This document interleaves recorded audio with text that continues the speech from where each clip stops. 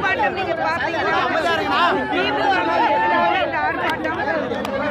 ஏன்னா இன்னைக்கு தமிழகத்தில் மிகப்பெரிய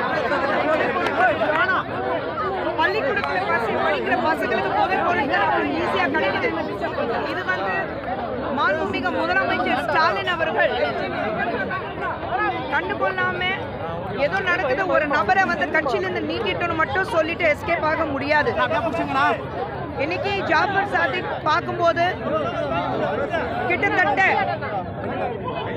மூவாயிரத்தி ஐநூறு கிலோகிராம் போதைப் பொருட்கள் மீட்கப்பட்டிருக்கு. மூவாயிரத்தி கிலோகிராம் போதைப் பொருட்கள் அப்போ நீங்க நினைச்சு பாருங்க இது எல்லாமே மொத்தம் நீங்க வந்து எண்ணிக்கை எடுத்து பார்த்தீங்கன்னா எவ்வளோ இருக்கும்?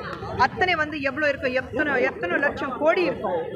இது எல்லாமே வந்து எனக்கு இதுக்கு சம்மதம் இல்லை சொல்லிட்டு நீங்க போக முடியாது. அதுல இருந்து ஜாஃபர் சாதிக் வந்து உங்க கட்சிக்கும் வந்து நீதி கொடுத்துருக்கிறாரு. இது நாங்க வந்து குற்றச்சாட்டு வைக்கல. இது வந்து நார்காட்டிக் சென்ட்ரல் பியூரோலேருந்து என்சிபிலேருந்து உங்களுக்கு வந்திருக்கு. இது வந்து எவ்வளோ போதைப் பொருட்கள் தமிழகத்துக்கு வந்திருக்கு. ஒவ்வொரு இடத்துக்கும் போகும்போது தமிழகத்திலேருந்து போதைப் பொருட்கள் போகுது. இது ஆஸ்திரேலியா நியூசிலாந்து அண்ட் டெல்லியில் இருக்கிற நார்காட்டிக்ஸ் அந்த இதுலேருந்து டிபார்ட்மெண்ட்லேருந்து எல்லாரும் தெளிவாக சொல்லியிருக்கிறாங்க. ஸோ இது வந்து எங்களுக்கு திமுக எதிர்ப்பு இருக்கிறதுனால நாங்கள் வந்து ஒரு குற்றச்சாட்டு வைக்கிறோம்னா நீங்கள் யாருமே சொல்ல முடியாது. இதுக்கு முதலமைச்சர் அவர்கள் என்ன பதில் கொடுக்க போறாரு? இன்னைக்கு தாய்மார்களுக்கு ஆயிரம் ரூபாய் கொடுத்தா பிச்சை போட்டா நீங்க வந்து அவங்க வாக்களிப்பிடுவாங்களா உங்களுக்கு. ஏன் நீங்க டாஸ்மாக் கூடுங்களேன் கலைஞர் அவர்கள் இருக்கும்போது கொஞ்சம் கொஞ்சம் கொஞ்சமாக நான் ஆட்சிக்கு வந்தால் டாஸ்மாக்கள் வந்து குறைப்பேன். டாஸ்மாக் கடைகள் குறைப்பேன்னு அவர் சொல்லியிருந்தாரு. ஸ்டாலின் அவர்கள் ஆட்சிக்கு வர்றதுக்கு முன்னாடி என்ன சொன்னார்? இதே ஸ்டேட்மெண்ட் அவரது. நான் ஆட்சிக்கு வந்தாக கொஞ்சம் கொஞ்சமாக டாஸ்மாக் கடைகள் குறைப்பேன். இப்போ உதயநிதி ஸ்டாலின் அவர்கள் என்ன சொல்லியிருக்கிறாரு?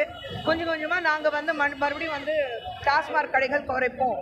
ஆனால் பள்ளி வாசல்லையே உங்களுக்கு வந்து டாஸ்மாக் கடைகள் இருக்குது காலேஜ் பக்கத்துலேயே உங்களுக்கு டாஸ்மாக் கடைகள் இருக்குது எங்கே குறைச்சிங்க? வீட்டில் இருக்கிற தாய்மார்களுடைய பிரச்சனைகள் தீர்க்க வைப்பீங்கன்னு பார்த்தாக்கா. டாஸ்மாக் பிரச்சனைகள் இன்னும் தீரல. அதுக்கு நடுவில் இந்த போதைப் பொருட்கள் பிரச்சனை இன்னைக்கு தமிழகத்தில் இருக்கு. வீட்டில் இந்த பசங்க வெளியில் போகும்போது பள்ளிக்கூடத்துக்கு போகும்போது இல்லை கல்லூரிக்கு போகும்போது அங்கேருந்து வெளியில் வரும்போது இல்லை எங்கேயாவது ஒரு ஃப்ரெண்ட்ஸோட வெளியில் போகும்போது எங்கே போதைப் பொருட்களுக்கு அடிமை ஆயிடுவாங்களான்னு ஒரு பயத்தில் இன்னைக்கு தாய்மார்கள் எல்லாரும் உட்காந்துட்டு இருக்காங்க. தமிழ் மக்களுக்கு ஒரு பதில் அளிக்கணும்.